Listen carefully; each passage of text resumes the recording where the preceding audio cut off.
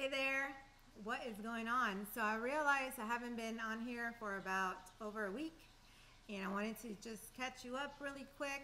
Today is day 22 of my 100 day water fast and things are going great.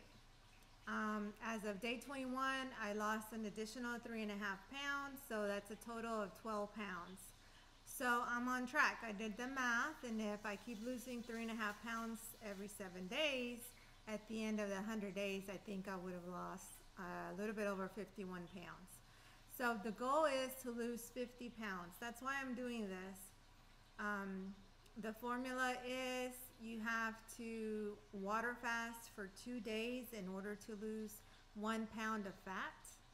So depending on how much weight you need to lose, that's how you calculate it. And so I need to um, do a 100 day fast. Did I did do that right? Yes. Two days for one pound. So there you go.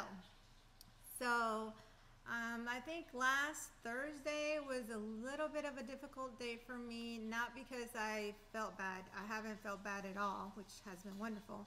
Just because I just really wanted to eat something and um, I just felt that urge, like I wanted to bite into something not anything in particular. So anyway, I just, you know, stayed out of the kitchen and got over that.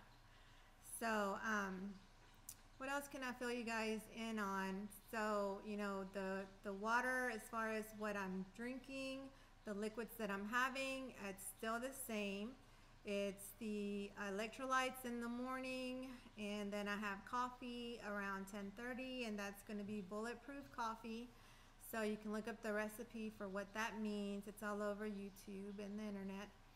And, um, and then I'm having bone broth. So my mom made me this delicious bone broth with these great bones. She called them rings. And uh, got them at the, at the Michoacana. So I'm going to go and buy me some bones from there and just keep making me that bone broth. And I have about two cups in the evening around 6 o'clock and uh, it's just so delicious. And so I'm, I'm kind of hooked on that.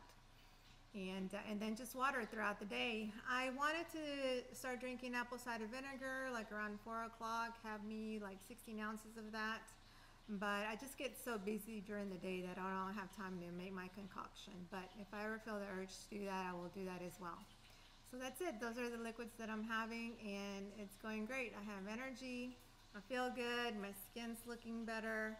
And I just can't wait for the 100 days to be here and so I can give you all a breakdown on all of the results.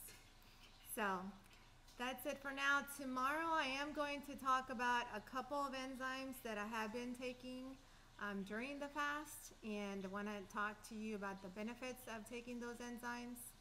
And uh, so make sure you hop back on. Hopefully I can get on here a little bit earlier because I don't know if you can tell from the background, but it's pretty dark.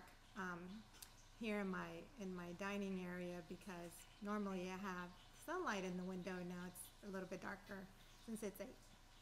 But all right, well, if you have any questions, put those in the comments and I'll be sure to give you uh, an answer if I can. Talk to y'all soon.